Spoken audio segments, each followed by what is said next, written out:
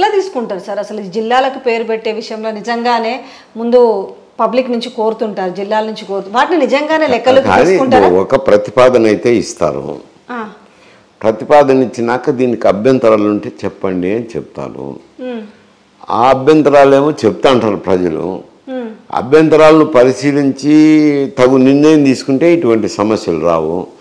అభ్యంతరాలను పంపించి నీటి తీసుకొని కట్టగట్టి మూలన పడేస్తారు. వాళ్ళు తీసుకుని నిర్ణయం వాళ్ళు తీసుకుంటున్నారు అందువల్ల ప్రజల్లో ఉండే యొక్క అభిప్రాయానికి ప్రాధాన్యత లేదు. వాళ్ళు ఏమనుకుంటారో అది చేస్తున్నారు.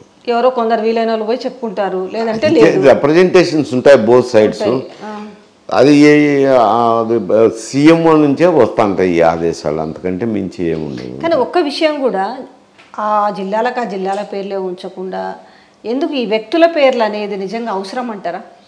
జనరల్గా అంటే ఎప్పటి నుంచో కాలక్రమేణా ఆ పేర్లతోటి నానుడు పలుకుతున్నాయి కదా. ఒకవేళ వ్యక్తుల పేర్లు అనేది అంటే ఇప్పుడు ఈ చే- ఈ డిస్కషన్ ఎందుకు వచ్చిందంటే మళ్ళీ ఈ అమలాపురం ఇష్యూ తోటి తెరపైకి వచ్చింది. అంటే అవసరమా కాదా అనే దాని మీద ఒక చర్చలు మొదలైనవి అంత అత్యవసరం అయితే పేర్లు పెట్టాల్సినంత అవసరం లేదు. నిజంగా వాళ్ళే బతుకుంటే మా పేర్లు ఎందుకు పెడతారయ్యా అని అంటారు. కరెక్టే.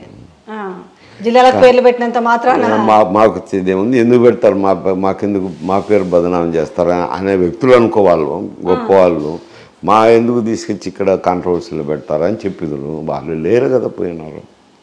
వీళ్ళు ఏదో పెట్టుకుంటుంటారు. సో అనవసర విషయాల మీదనే ఇప్పుడు ఈ రచ్చ. ఒక విధంగా చెప్పాలంటే. అంటే అక్కడ స్థానికంగా మనో అభిప్రాయాలను బట్టి జరుగుతుంది. కొందరు వ్యక్తులు పోయి ప- పేరు పెట్టమని చెప్పి రిప్రజెంట్ చేసినారు కదా. కొన్ని సంఘాలు దళిత సంఘాలు కూడా పోయి రిప్రజెంట్ చేసినారు కదా. ఇప్పుడు వీళ్ళు వద్దు మాకు కోనసీమే ఉండాలని ఇవి నిన్న అజిటేషన్ బాలయోగి పేరు పెట్టాలని కూడా పద్నాలుగు ఏమో వచ్చినాయంట. ఉండొచ్చు అవన్నీ అనవసరమైంది అంటాను. ప్రభుత్వం ఈ జిల్లాలు ఏర్పాటు చేయటమే అనవసరమైన సబ్జెక్టు. అంటే డెవలప్ అవుతుందనే కదా.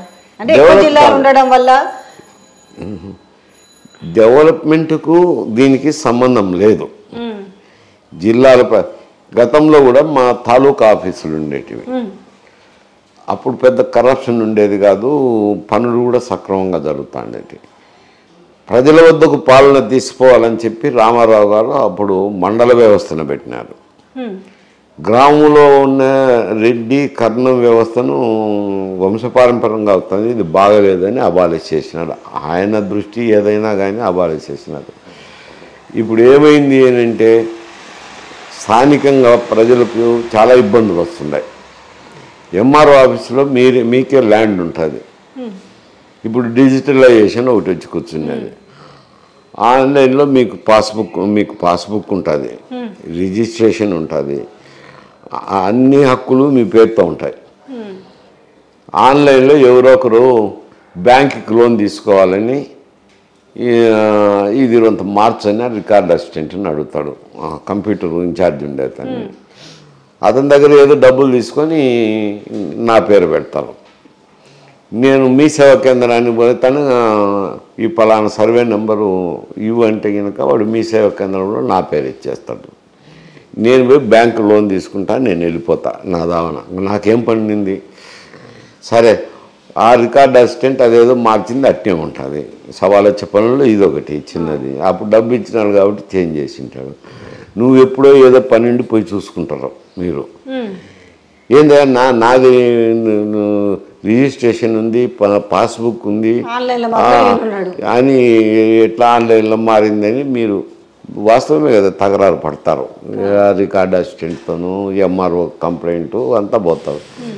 ఎంఆర్ఓ కూడా ఈ విషయాలు తెలుసు ఇవన్నీ జరుగుతున్నాయని సరే ఏదో పొరపాటు జరిగిందిలే అండి సర్దిద్దుతాంలే అని అంటారు. నేను చెప్తానులే అని. ఆ రికార్డ్ అసిస్టెంట్కు సర్దిద్దవా ఇది అన్ని ఎన్ని రికార్డ్ అంతా విజయ్ గారి పేరుతో ఉంది అని చెప్తాడు. బయటకు వచ్చినాకమ్మ ఇది కంప్యూటర్లో ఆన్లైన్లో చేంజ్ చేయాలా? కొంచెం ఖర్చు అవుతుందని మళ్ళీ నీతో డబ్బు తీసుకుంటారు మరుసటి రోజు చేంజ్ చేస్తున్నారు.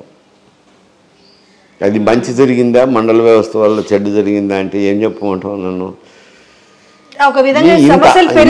ఇంత- అవసరం ఉందా అంటాను. జిల్లాలు చేయాల్సిన అవసరం ఉందా అని అంటాను. లేదు ఇక్కడ తెలంగాణలో అయినా కానీ అటైనా కానీ రాష్ట్రం డివైడ్ అయిపోయింది.